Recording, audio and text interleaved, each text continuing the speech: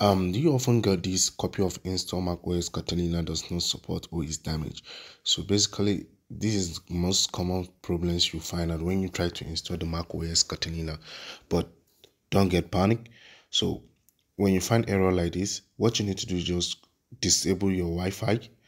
Then um, when you disable the Wi-Fi, ensure that the Wi-Fi is full. Then you go to your terminal.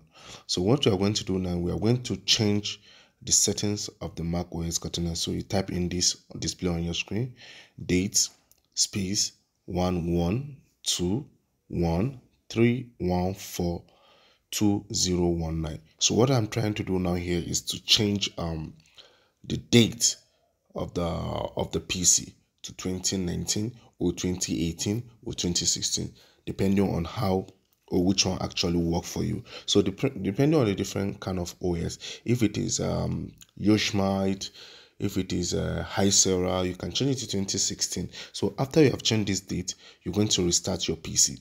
So we are doing the restarting process now. So as you can see, I've restarted my PC. I want to reboot it again to start the installation. So at this point, you're going to wait till you see the display uh, option or to install the Mac OS Catalina. So it's coming up. So I've already selected the Mac OS Catalina option for the installation. Let's give it some time while it come up. So boom, it has already come up now. So sorry for the block camera. So I'm so I'm going to try to install it now. When I click on next, because I've already changed the date. So let's see if it has already fixed the issue. So you see it has shown me the Mac OS Catalina. We'll click on next continue I will select uh, agreed then select my installation disk click on next.